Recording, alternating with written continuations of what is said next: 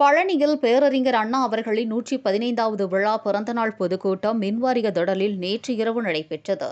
நேற்று இரவு நடைபெற்ற இதில் நகர செயலாளர் முருகானந்தம் தலைமையில் நடைபெற்ற இந்த கூட்டத்தில் கலந்து கொண்டு சிறப்புரையாற்றிய முன்னாள் அமைச்சரும் திண்டுக்கல் கிழக்கு மாவட்ட செயலாளரும் நத்தம் சட்டமன்ற உறுப்பினருமான நத்தம் இரா விஸ்வநாதன் அவர்களுக்கு நகர செயலாளர் முருகானந்தம் சால்வை அணிவித்தும் செங்கோல் வழங்கியும் கௌரவித்தார் கழகத்துடைய துணை பொதுச் செயலர் விஸ்வான் அவர்களுக்கு செங்கோல் வழங்குகிறார்கள். நகர கழகத்தின் சார்பாக கழகத்துடைய துணை பொதுச் செயலாளர் அவர்களுக்கு செங்கோல் வழங்குகிறார்கள்.